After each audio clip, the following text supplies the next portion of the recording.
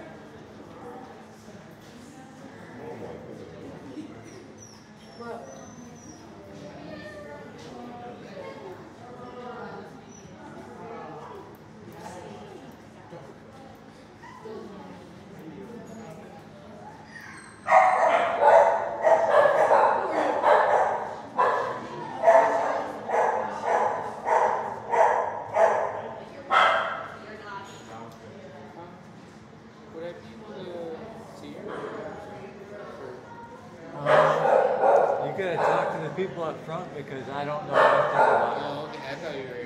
Yeah.